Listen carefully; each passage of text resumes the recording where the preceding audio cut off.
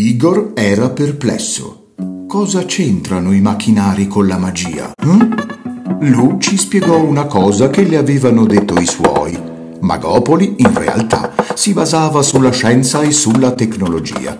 La maggior parte delle persone non lo sapeva, ma dietro tutte le nostre esistenze e le nostre magie c'erano dei macchinari. Una scienza abbandonata, dimenticata dai più, ma ancora operante. I vapori che ci circondano derivano dalle scorie di Magopoli. Questi macchinari regolano la vaporazione dei rifiuti.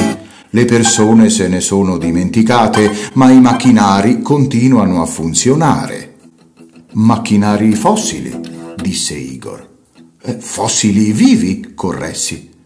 Non so se un fossile vivo è un fossile, ma insomma sì, disse Lu. Guardate, aggiunse, indicava una statua antica sulla cui base erano incise due strane parole. Albert Einstein. Deve essere uno dei mostri che abitano oltre la fine del mondo, sussurrò Igor, come se avesse paura di evocarlo.